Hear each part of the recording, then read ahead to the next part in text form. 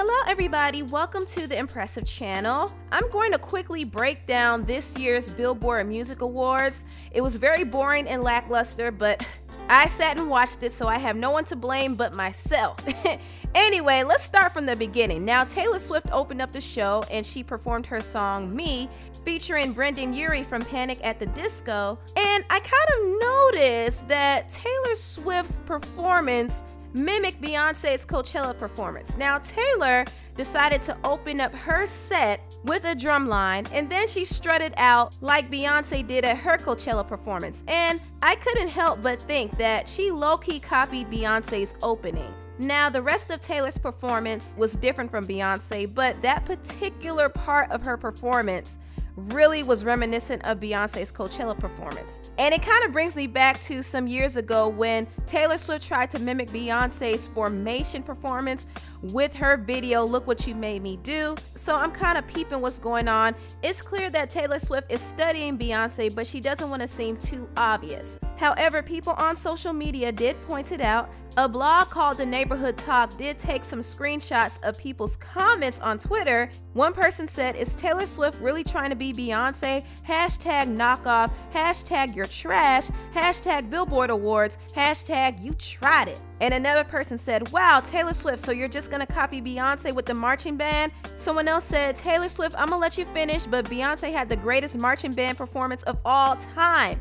And another comment said, Beyonce headlines Coachella with an all black drum line and band. Taylor Swift opens up the Billboard Music Awards with a mostly white drum line playing offbeat. Can't wait for everyone to praise her originality. The shade. Another comment said Taylor Swift wasted no time biting off Beyonce, shake my head, and looks and sounds crazy per usual. And lastly, someone said, So I guess Miss Taylor Swift wanted to see how it feels to be Beyonce.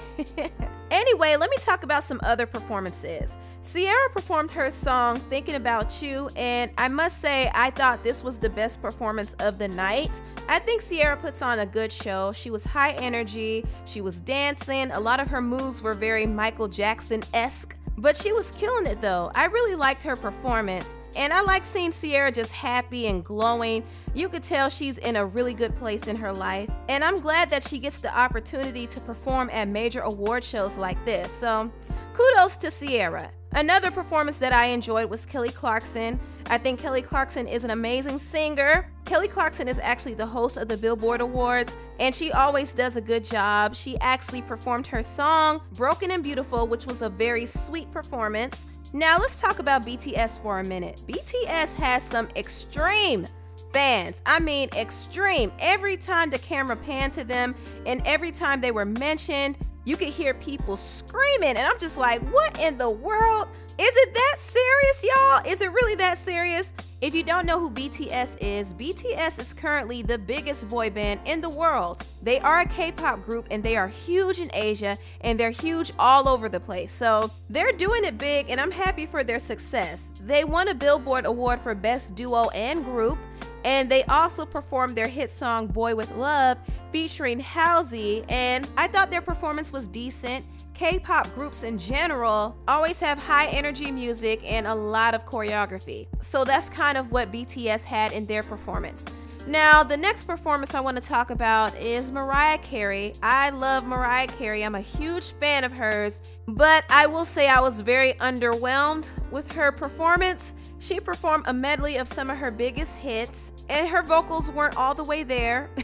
they just weren't there tonight, but don't get me wrong, I believe that Mariah Carey can still put on a show. I actually went to see her in concert this year, and she's amazing, but her performance tonight wasn't the best. Besides that, Mariah did get honored with the Icon Award, which is long overdue. She's so deserving of it, and I really loved her acceptance speech. The last performance I want to talk about is Madonna's performance. Madonna performed with an artist named Maluma. Correct me if I'm saying that wrong, but she performed this song, and I have to say her performance was kind of weird. She had holograms on stage, and I always find holograms kind of creepy. There was just a lot going on on stage, and I have to be honest, Madonna is the type of artist who uses a lot of props and effects on stage to overshadow her mediocrity because without all of that, you'll see how weak her voice is and how weak her dancing is. She was so stiff on that stage. I was like, Paula Abdul needs to come and show her some things because Paula slayed her performance. And she showed the world that it doesn't matter what age you are, you can still get down on the dance floor. I do want to say congratulations to all of the winners.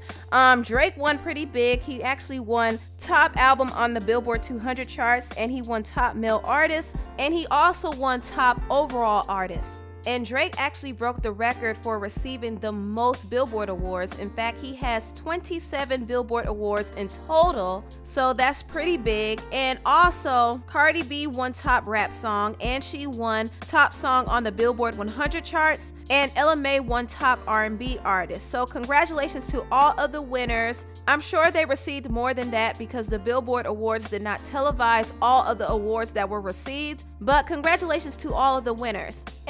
Tell me what you all think about this video down below. Please like, comment, and subscribe and share this video if you care. Thank you so much for watching and I'll see you next time. Bye.